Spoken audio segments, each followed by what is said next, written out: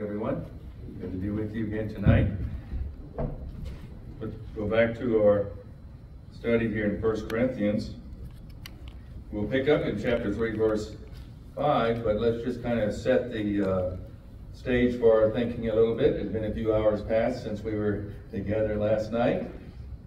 Clear a few cobwebs out. Remember, we looked at already in chapter 1 in the first nine verses, uh, particularly verses 4 through 9 the apostle uh, encourages these new Christians in Corinth. They've been only Christians for a few years by the time he writes this letter. And he mentions eight different privileges that are part of their new life in Christ. Uh, and particularly, he ends in verse 9 with the privilege of being brought into a partnership a sharing together in common with the very Son of God. God is faithful, by whom you were called into the fellowship or the partnership of his Son. But then he begins to deal with something that had been reported to him uh, by those of Chloe's household. We said not Chloe Rosittis, but uh, uh, Chloe there in Corinth, that uh, they were concerned about some of the things in the meeting and this idea of contentions or divisions over exalting certain men. And I believe that what he that sets off what he deals with all the way through the end of chapter 4, verse 21, he's still dealing with that issue at the end of chapter 4. And he sees that as an opportunity to expose an area of weakness in the fellowship, in the believers, the dear believers there. And it's an area of weakness that uh, continues to plague believers down through the history of the church. And that is spiritual immaturity. Not going on in growth. And uh, we were talking about that in the car on the way over here. The, certain churches boast about 250 baptisms and so many people getting saved and this and that. Uh, but are those people going on for the Lord? Because it's not God's design that they would stay baby Christians for 40 or 50 or 70 years in this world. That's not God's design. And the huge danger with not going on in growth is if you're not growing, it may be because you don't have the life. And if you don't have the life, you need to understand that self-deception is a very serious danger. You and I don't know how awful self is within us. If you spend time in the Word of God enough, you will begin to see that, and that's part of what spiritual growth is about. And so Paul, to me, in the genius of God working in Paul the instrument. Paul may have been a genius too, many believe he was, but it's the Word of God, it's the Spirit of God working through him, and there's a flow of thought that as he moves through it. And he begins with, uh, in chapter 1, we, we've already seen this, this is rehearsal, in verse 18, with the message of the cross. You say, well, you don't you want to lift these people up? Don't you want to build them up? Don't you want to encourage them? Don't you want to edify them? Why are you going to start with the message of the cross? That seems like a downer. I said, seems like a downer. But for those who are being saved, the message of the cross is the power of God unto salvation, you see. And as we talked about on the Lord's Day, you don't want to make it go down more smoothly by decorating it or softening the impact of the cross when you're speaking to an unbeliever. Because God's design is that it would hit them with the conviction of the Holy Spirit and they would see how bad they are. You say, well, the, the Son of God, the perfect Holy One, he had to come and die on that cross. That seems so horrible. But that's what it took because of the holiness of God and your sinfulness and mine. It took that. And that ought to help us in self-distrust and self-renunciation. Because, as Romans 6 will tell us, we were crucified with him, right? so that we might die to self and live to God. And so the message of the cross is so important in God's plan. And I think it's just amazing. Paul just launches right out and talks about the message of the cross and, and how it is because of the cross we only boast in one man. Right? Verse 30 and 31 of chapter 1. But of him are you in Christ Jesus? He'll say in, in chapter 3, uh, in verse 21, let no one boast in men. Stop this boasting in men. Stop it. It's, it's babyhood. No, Paul didn't die for you. Peter didn't die for you. Apollos didn't die for you. Whoever your favorite radio preacher is, or whoever your favorite commentary writer is, he or she didn't die for you. Christ did. So let no one boast in men anymore. Let all our boasting and bragging be in Jesus Christ. That's what he says in verse 31 of chapter 1.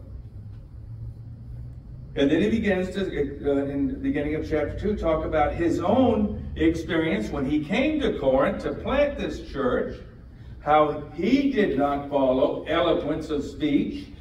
I don't think that means Paul was incapable of eloquence of speech. I think he could have been as eloquent as Apollos any day. That's my opinion. But he chose not to use eloquence of speech in giving the gospel so that he would not take the power away from the gospel. You see what he's saying? That the power of the gospel is in its message. It's not in how we decorate it or make it more palatable for people. It, the Bible tells us the cross is an offense to the world. So to an unbeliever, you're sharing the message, expect it to be, don't take it personal. Because you didn't die for him anyway. Christ did. He can take it personal. You don't have to take it personal. But when you share the message, you expect a little bit of a shock or a little pushback. Right? I did that. We all probably did that when we first heard the message and realized my religion won't save me. My Sunday school attendance won't work.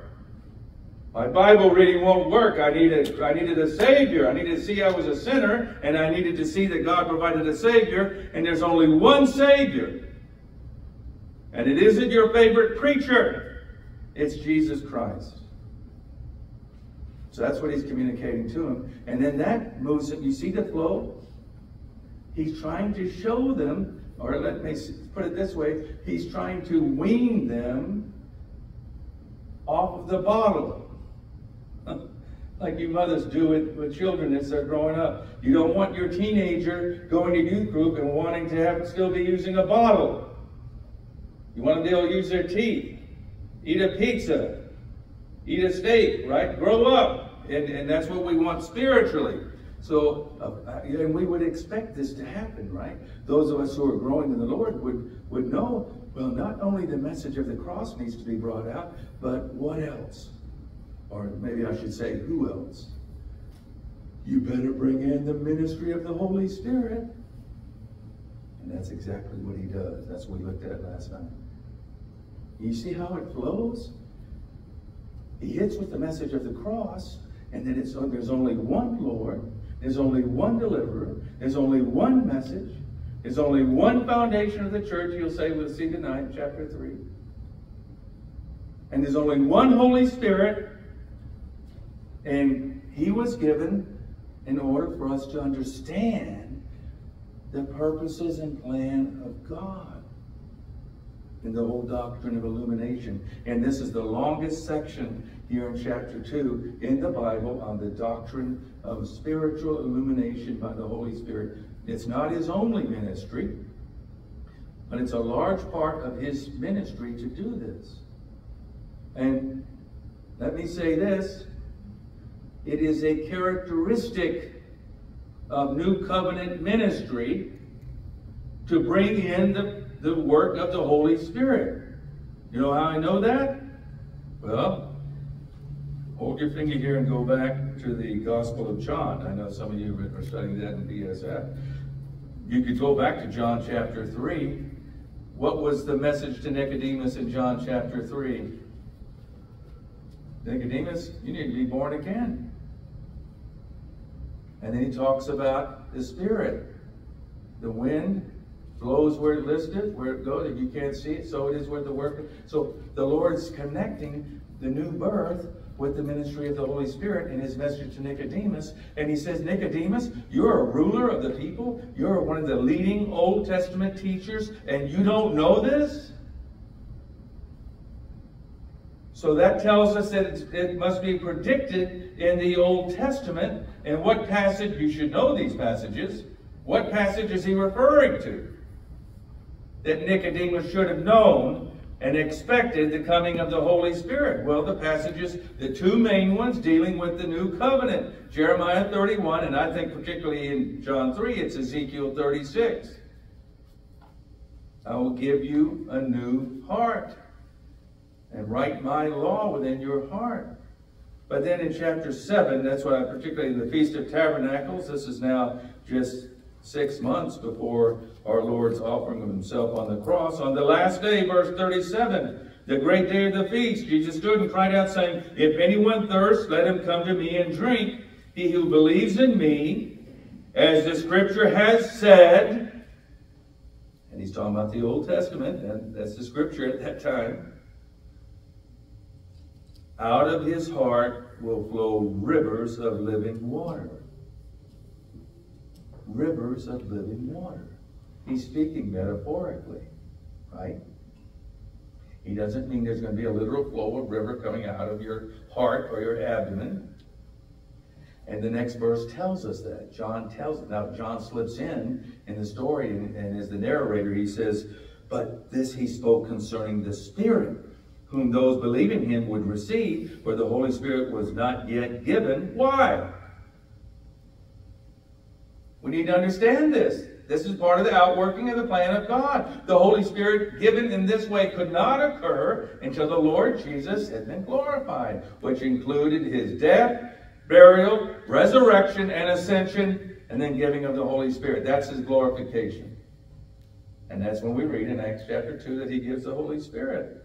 And then over a few pages more in chapter 14 in the upper room discourse, some of the greatest information and truth regarding the ministry of the Holy Spirit is in John 14, 15, and 16. I'm just going to point to a couple of them here. In verse 15 of John 14, if you love me, keep my commandments, and I will pray the Father, and he will give you another helper. That word another is another of the same kind. There are two different words in the Greek. And this one is not another of a different kind, but another of the same kind, like Christ that he may abide with you until you sin the next time. Is that what it says? Forever, it means forever. abide with you. The Spirit of truth, that's one of the names of the Holy Spirit, whom the world cannot receive. So you see, the, there's an exclusion statement there. Only born again people receive the Holy Spirit. The world can't receive him. Impossible. Not within the plan of God, you see. Because it neither sees him nor knows him. But you know him, for he dwells with you up to that point. He had dwelt through Jesus Christ's ministry with the body, had dwelt with them, and he will be, future tense, in you. That had never happened under the old covenant. It couldn't because Jesus had not been glorified, you see. And then there's more references to the Holy Spirit in verse 26 of chapter 14. We won't read that. In chapter 15, but in chapter 16, verse 13, when he, the Spirit of truth, has come, he will guide you into all. He's your guide into all truth. That's exactly what Paul said in 1 Corinthians chapter 2. He teaches the Word of God to us. That's why we pray and ask for illumination from Him. He will guide you to all truth, but He will not speak on His own authority. Whatever He hears, He will speak His submission to the Father and to the Son, and He will tell you the future, things to come, like in the book of Revelation, like in the book of First Thessalonians and Second Thessalonians and Hebrews and so many of them. And then verse 14, He will glorify himself through spiritual gifts. That's what we see in the ministry of Pentecostalism, the charismatic movement. It's all glorifying the Holy Spirit. Jesus Christ is practically left out of it. Which tells us it's not of God. The Holy Spirit would never do that. Oh, I'll say there's a spirit at work, but it's not the Holy One. Danger, danger. You know people that are, and they're they're around here. They're up, they're around where I am down there. It's an opportunity to help people, help others to see it. Show them this verse. He will glorify Jesus Christ and Him alone. In any ministry that's real Holy Spirit ministry will glorify Jesus Christ, and the Holy Spirit will, will be will disappear. He'll be minimized. Because that's what he that's his role, that's his purpose and his function. Even though he's the fullness of the Godhead as much as Jesus Christ is. Complete submission, see? Same thing that's asked of us. Right? Self minimized, Christ maximized in our lives. Same picture. He will take what is mine and declare it to you. So, this whole ministry of the Holy Spirit that is, is so wonderful, I wanted to look at, at uh, one other passage in chapter 10 of Hebrews in verse 16, way back at the other end of the New Testament. In Hebrews chapter 10, the writer of Hebrews is, has made reference, he's quoted a long section of Jeremiah 31 in chapter 8. It's probably in italics in your Bible. But in chapter 10, he'll quote just one section of that, Jeremiah 31, the prophecy of the new covenant. The new covenant was fulfilled in Christ's blood. His blood ratifies the new covenant. That's what we celebrate every Lord's Day, right? It's a reminder to us that we are in the new covenant. We are in a covenant relationship with God. He's promised us things because of that. But he says in verse 16, This is the covenant that I will make with them after those days, says the Lord. I will put my laws into their hearts, and in their minds I will write them. That is the ministry of the Holy Spirit in illumination and in teaching and in reminding us of the Word of God. And of course, that, that is one of the promises. The second one is, their sins and their lawless deeds I will remember no more. So two aspects of the new covenant prophesied. There are other aspects of the new covenant in Jeremiah 31 and in Ezekiel 36 that haven't been fulfilled yet. That won't be fulfilled until the end of the tribulation period, when Christ comes back. The land promises to Israel and so forth. The New Testament's very clear. There aren't two new covenants. There aren't four new covenants. One brother called me years ago. He said, Brother, I, people say there's more than one new covenant. How many new covenants? So how many old covenants are there? There's only one, the Mosaic covenant, right? And he says in Hebrews, he set aside the first that he may establish the second.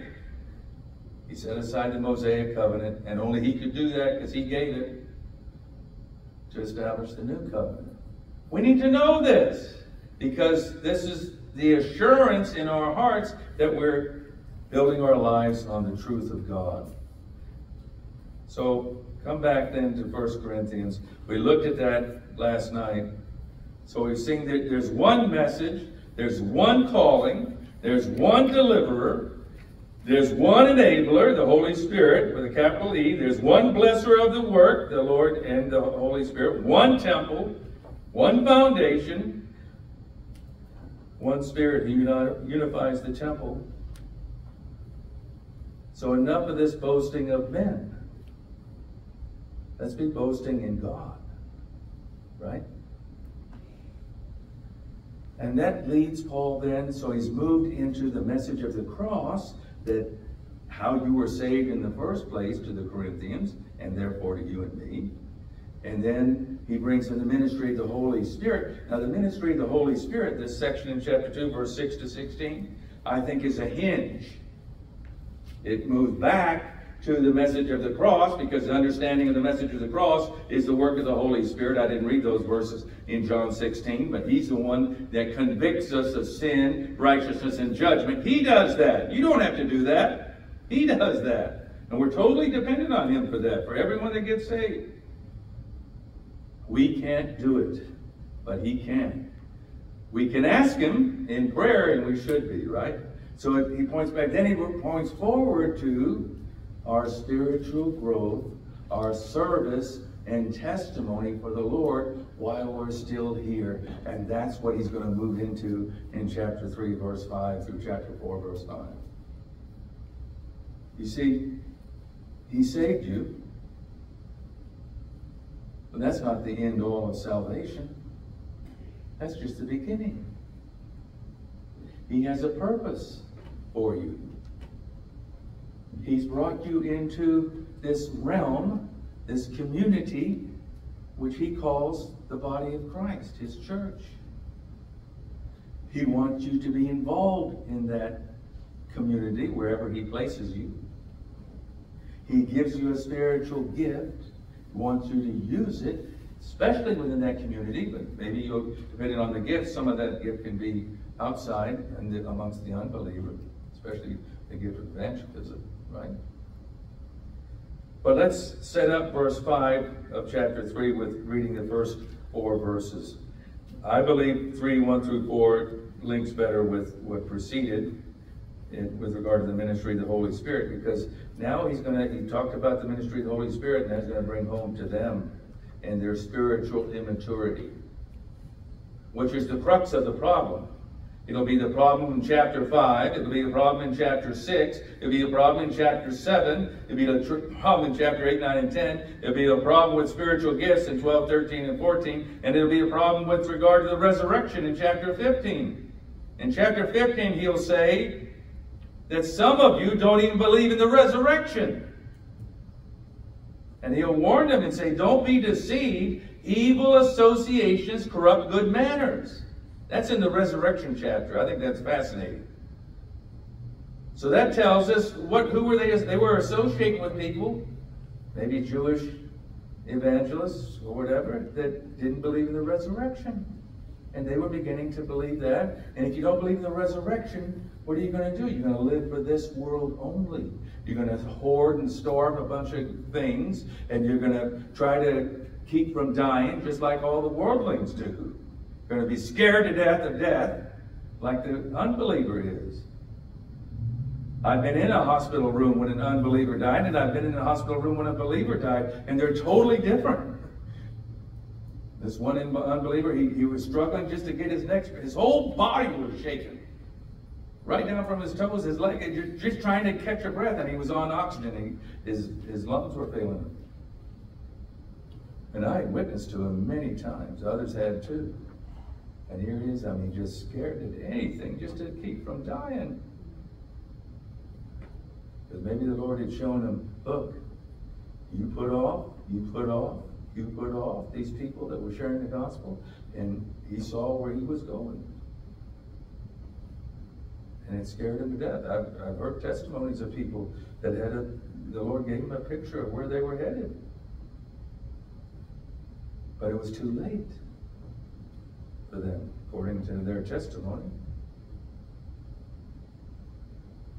So he says, verse 1, chapter 3, And I, brethren, could not speak to you as to spiritual people. Now, this is a sad state of affairs.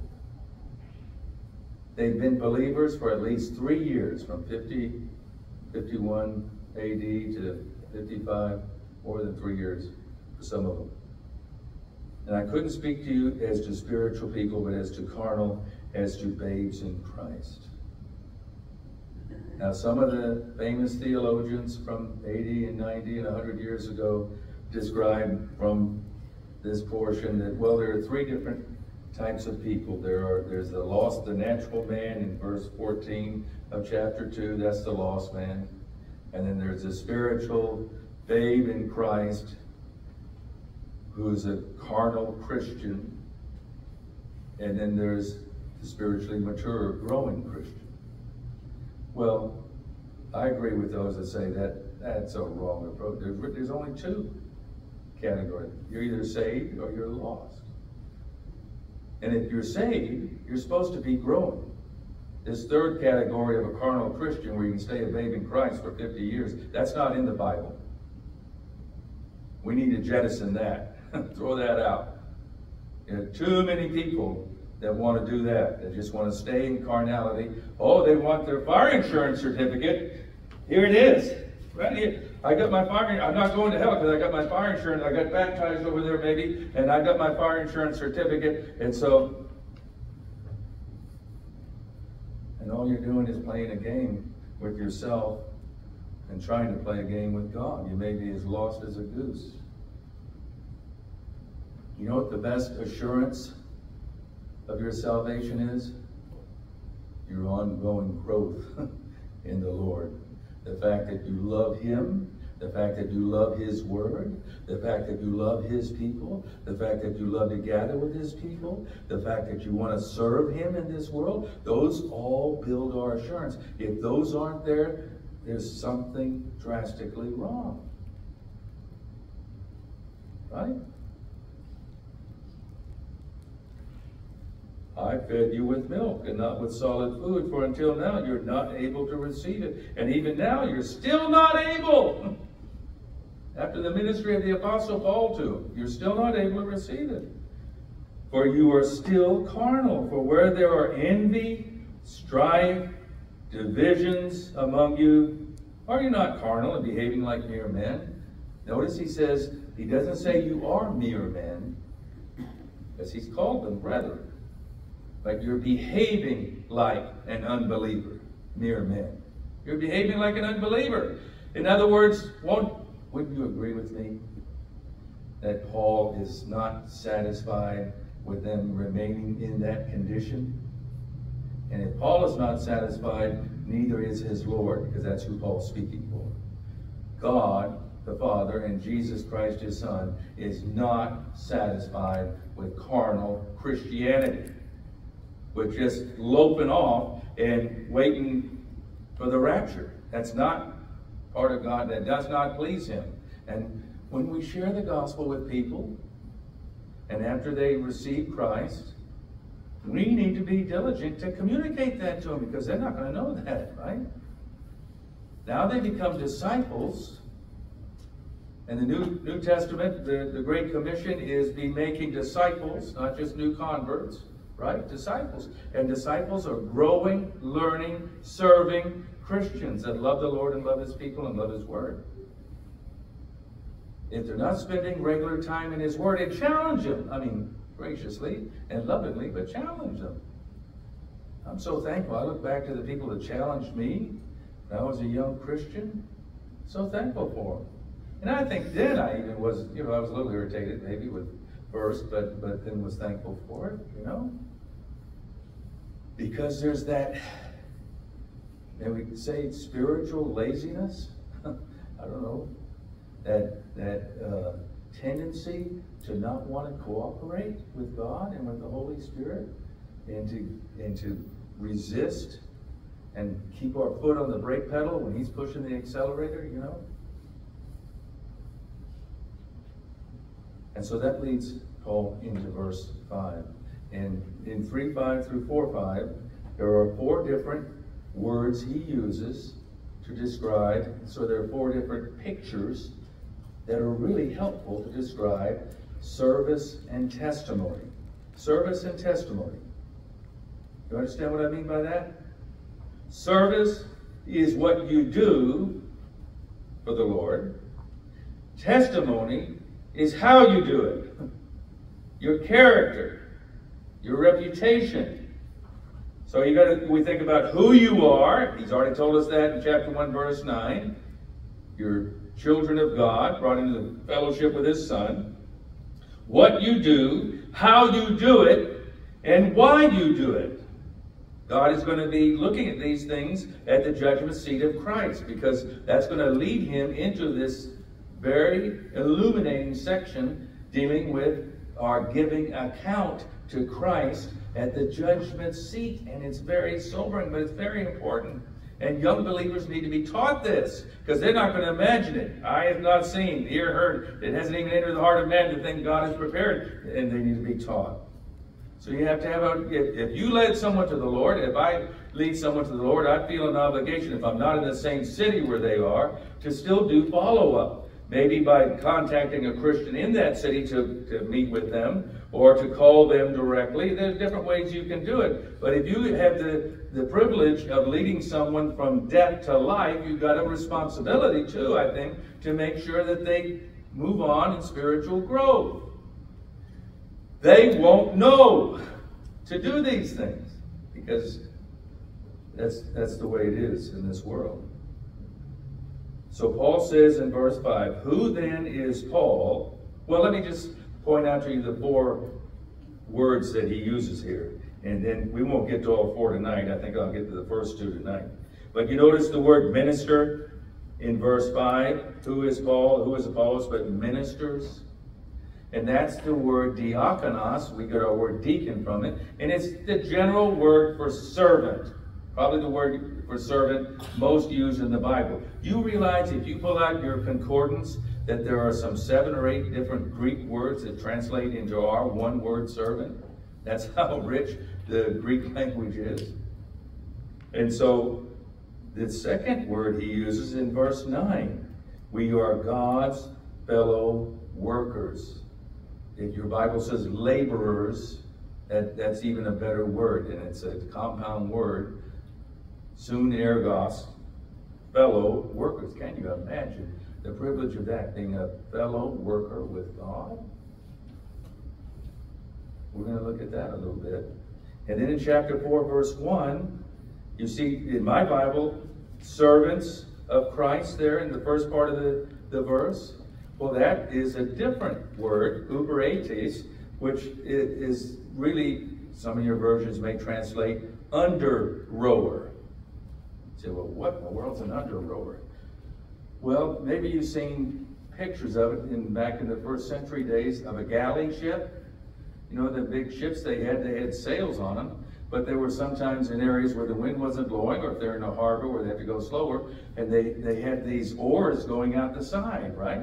You've seen those pictures where all these long oars are going out the side of the hull?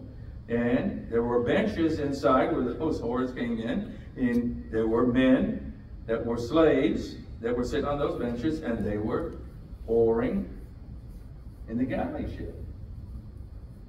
And it's a great picture word, and we're going to talk about that probably tomorrow night, what it can tell us. But one thing it tells, there was only one commander.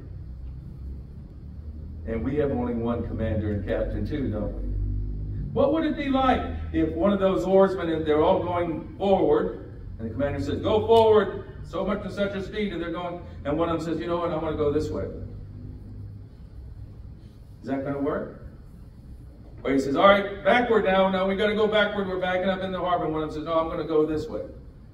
A disobedient servant. Well, that's what Paul's trying to, he's trying to say, Paulos, Apollos and Paul and Cephas, we're all going the same direction. We have one commander. We're all in this together, going the same direction, following the same orders. We'll look at that more, as we say when we get to it. And then the, the fourth word uh, is, is the second one used in verse 1 of chapter 4, and that's the word steward, which is a household manager, or economia. It, it's used several times in the Bible. And we can all understand that a, a household manager that's responsible for the goods and property of the particular master he's serving. Okay?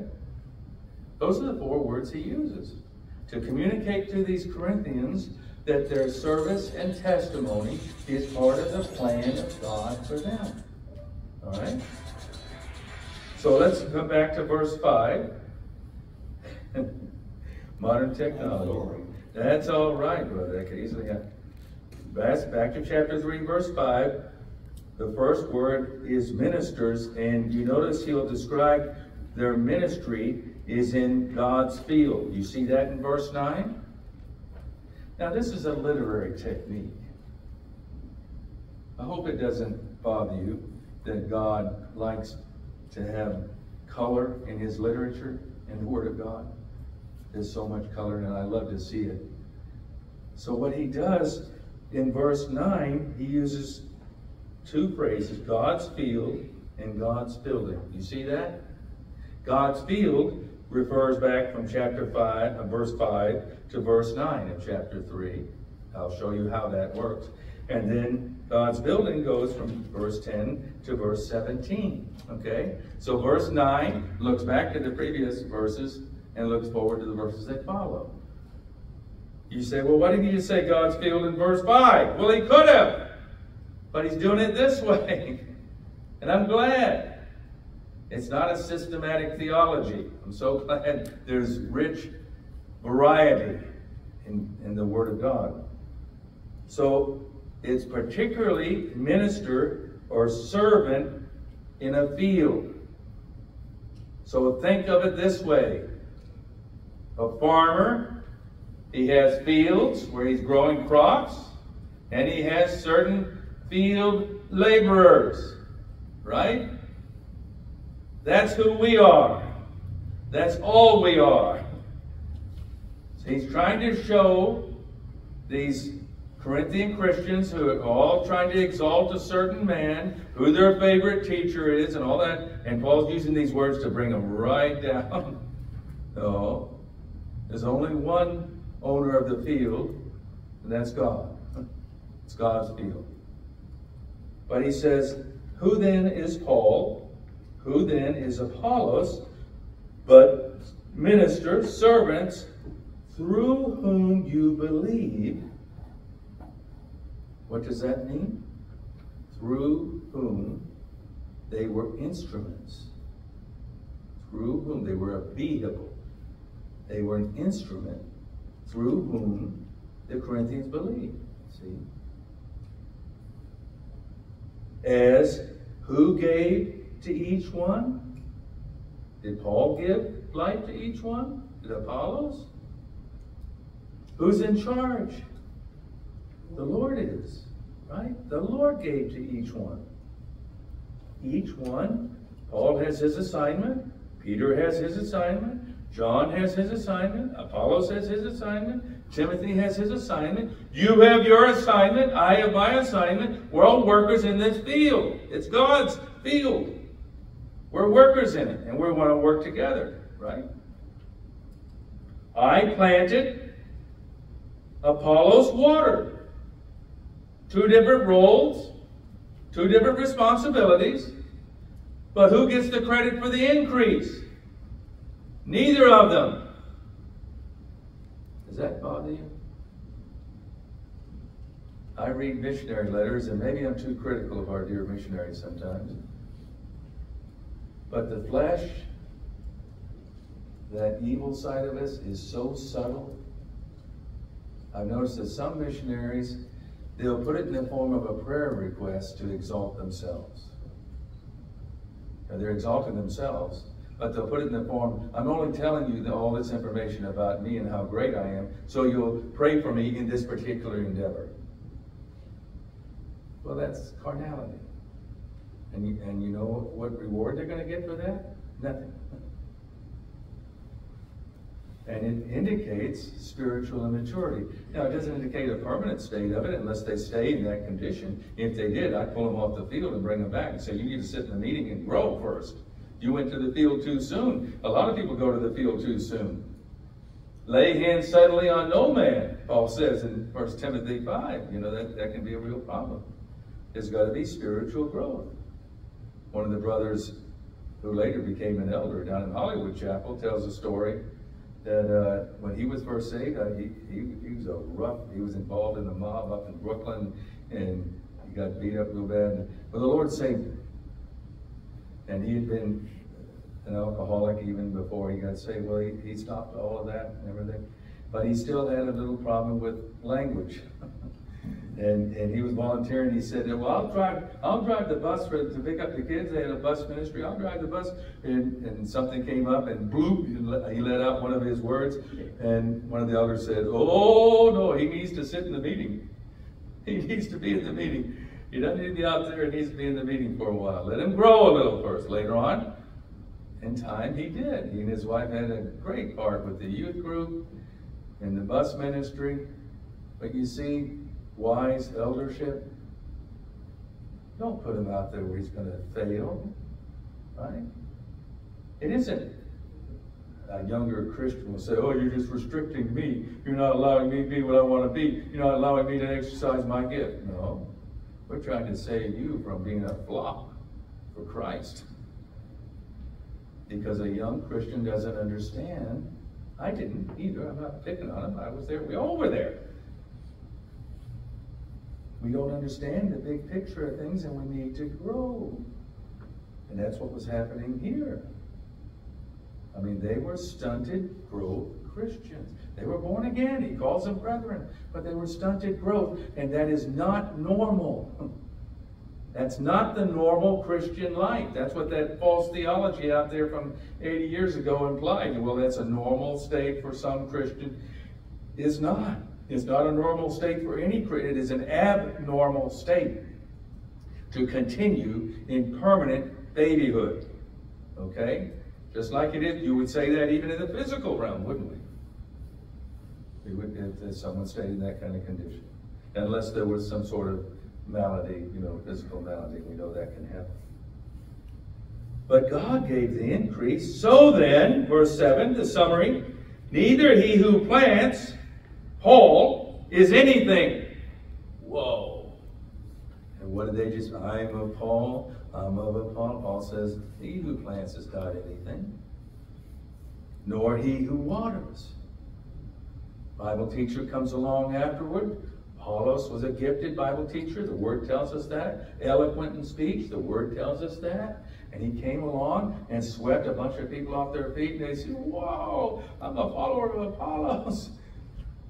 Well, he brought him into deeper truth. You uh, know, and later, Apollos is ashamed of this. Because you know how I know this? Hold your finger here and go back to chapter, go to chapter 16. At the end of the letter, Paul's dealing with several different matters in chapter 16 after the resurrection chapter, in chapter 15, and he mentions, I love this, he, he almost mentions it just in passing.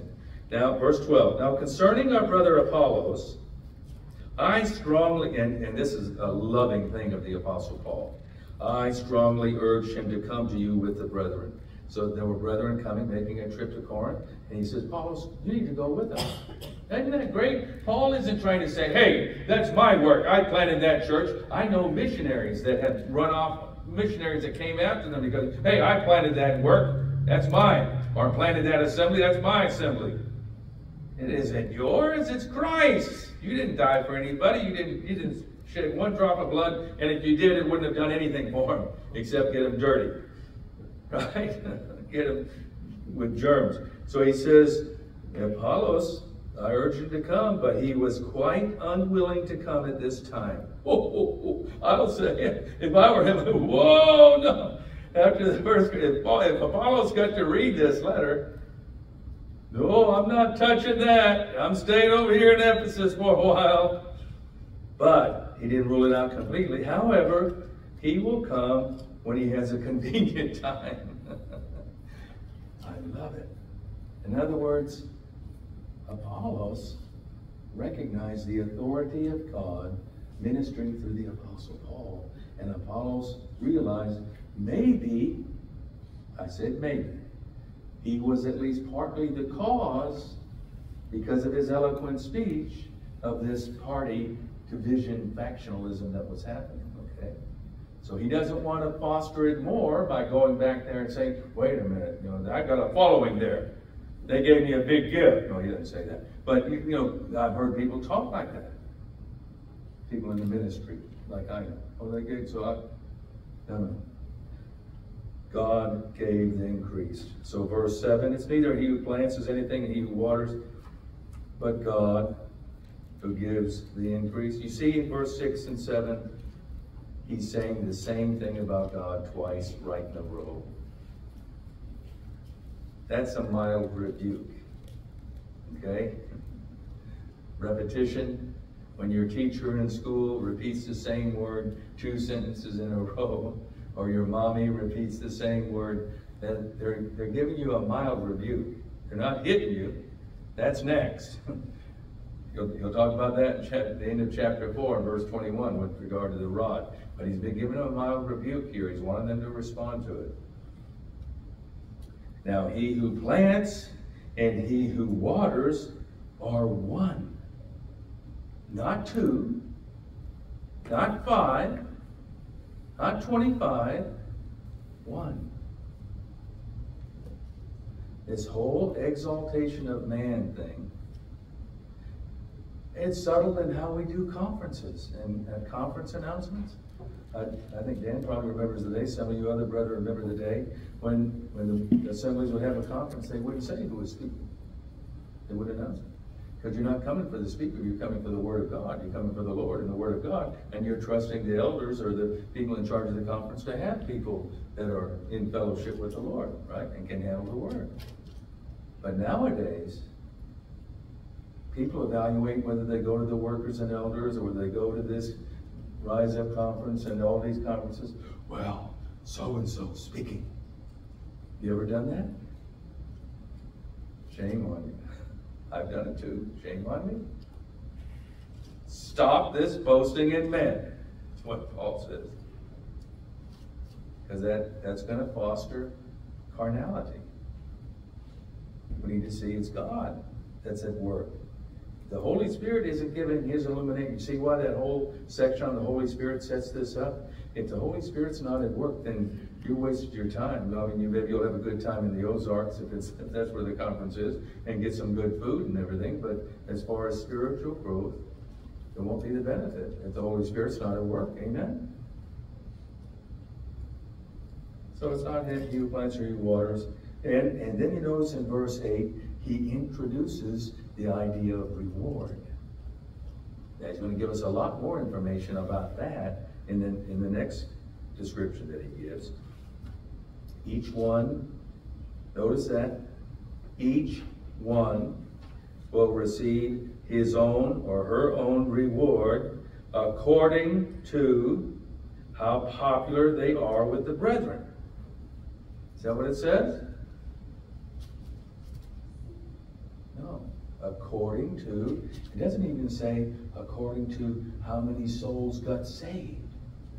You notice that? Or it doesn't say, according to how many people said, thank you for the message, if that's what the person was doing, according to their labor. Hmm. He's going to talk about that labor in the next description that he uses. So it's not just who you are, it includes who you are, you've got to be saved, right? The message of the cross.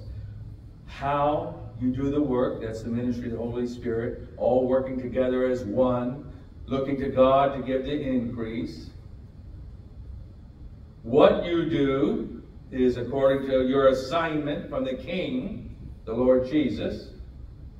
And then you'll get into why you do it, your motives, your motives for ministry.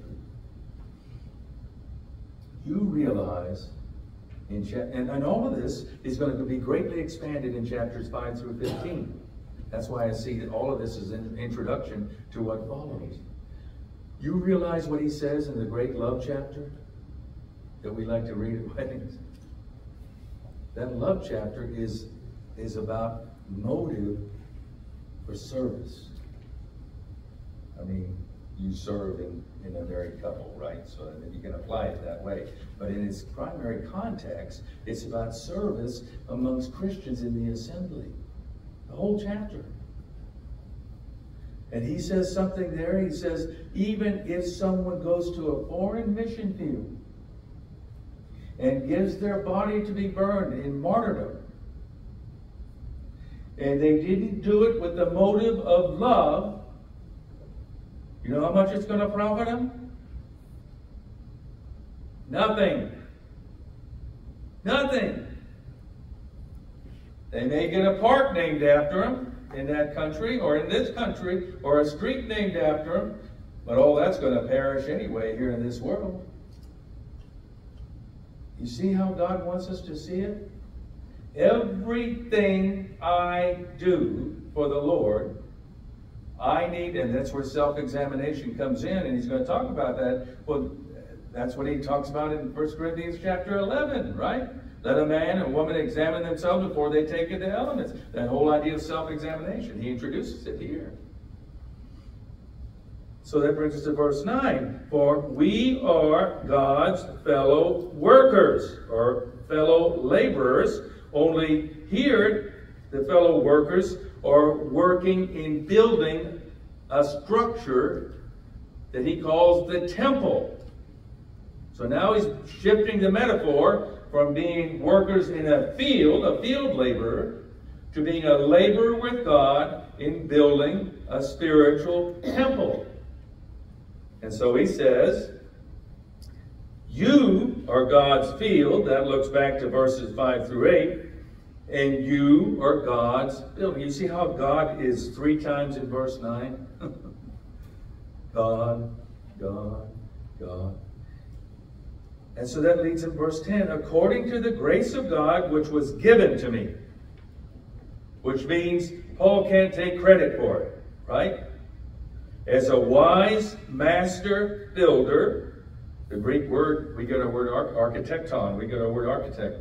As a wise architect or builder, I have laid the foundation and another builds on it. In this case, Apollos, right?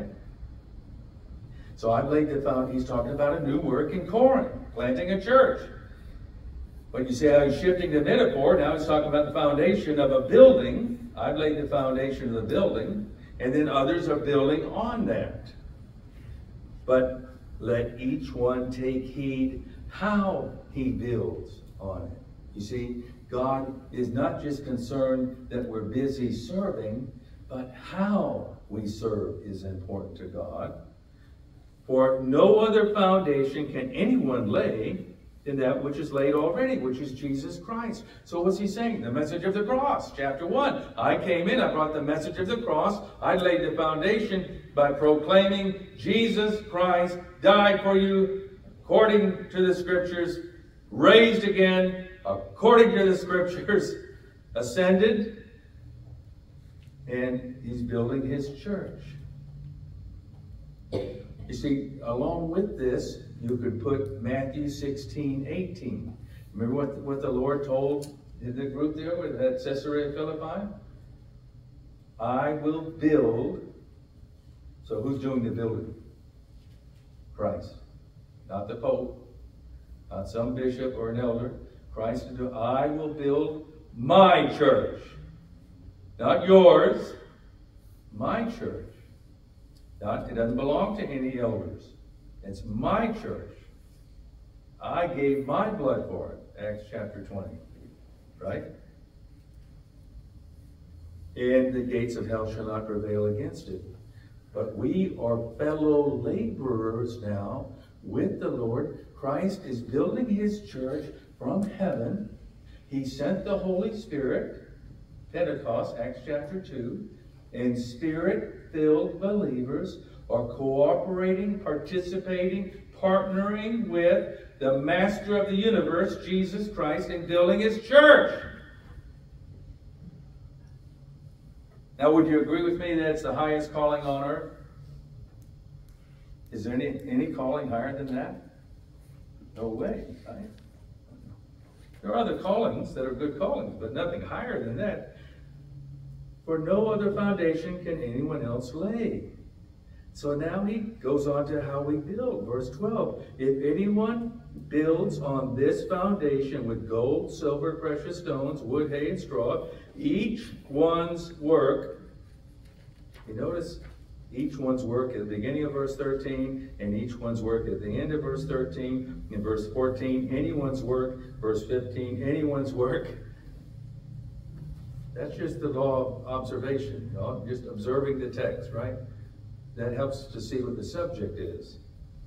So if anyone builds on this foundation, each one's work will become clear, for the day will declare it. What day? The day of Christ. He's already talked about that in chapter 1 and verse 8, right? The day of Christ. The, the judgment seat will follow right at that time. We'll declare it because it will be revealed by fire. And the fire will test each one's work, what sort it is. I'm running out of time, so I, I won't, I won't go back there, but I, I wanted to, and so maybe tomorrow night we'll look at a verse in the Old Testament that I think the Holy Spirit has in mind here. But let's just say this much, and we'll conclude with that tonight. In fire, gold, so, I mean, I know none of you are probably metallurgists or jewelers, you know, so maybe you haven't done this, but you probably know if you take gold, silver, precious stone, diamonds, let's say, and you put them in fire, what happens to them? Does it destroy them? No, it purifies them, makes them even more special.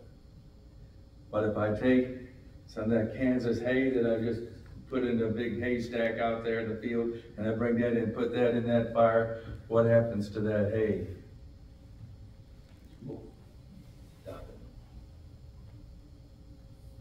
And that's what he says is going to happen to some born again Christians because they made some bad decisions and set some bad priorities, became worldly, were happy to stay carnal, not cooperate with the Holy Spirit, not grow and participate in God's work.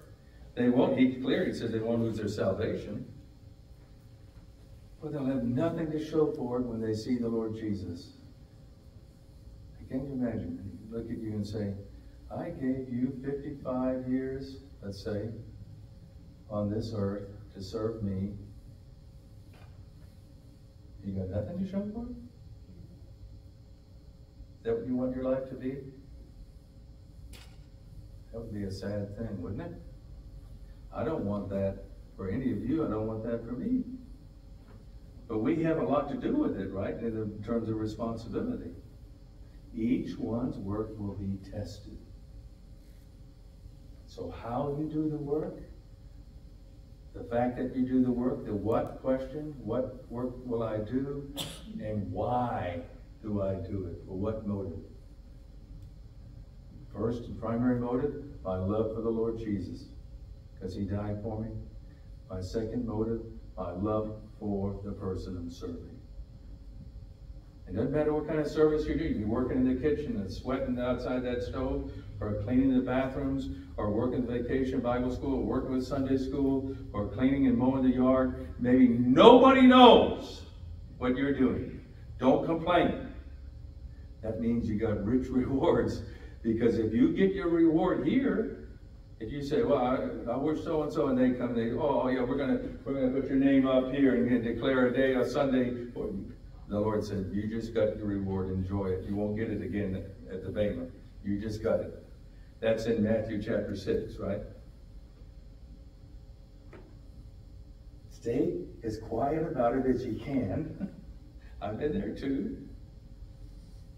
Did you know I did Stay as quiet about it as you can and save it for later. It takes faith to do that, right? Because you got to believe that the Lord Jesus is not going to forget. And he's not going to forget, is he?